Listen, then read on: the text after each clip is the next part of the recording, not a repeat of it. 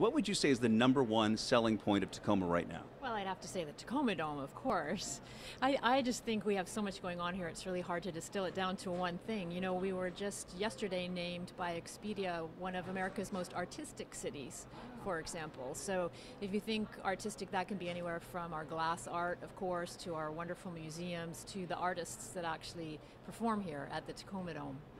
It's a, it's an exciting time for the city, and you can sense a sense of pride in in the people here. Um, there was a, a, motto that was put forth by the Rainiers, kind of co-opting their their iconic R on their hats and their logo. Uh, we are Tacoma. Um, there's there's some pride that goes with this boom right now. You are no longer Seattle's little sister. I would totally agree with that statement. And people, you know, they've got their shoulders up and, and their heads up, and we have so much to be proud of, and people are really discovering what we have here. You know, uh, our South Sound Together group has an, another great slogan live like the mountain is out, and we're doing that every day.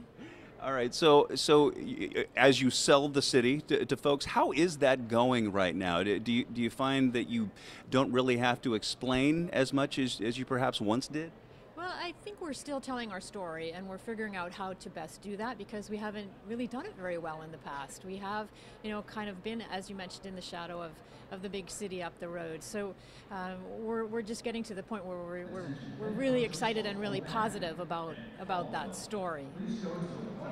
Um, there are downsides to a boom. I mean, we're talking about housing affordability. It's getting tougher and tougher. Traffic is not great, and that's pretty much true for every segment of the sound. Uh, what do you see for Tacoma's future? If you, if you were to gaze into the crystal ball, look 25 years into the future, what, what do you see Tacoma in 25 years? Well, for sure, I see greater transportation options. So, you know, the, the, the light rail is obviously going to come our way. I think that's going to make a really big difference for getting around.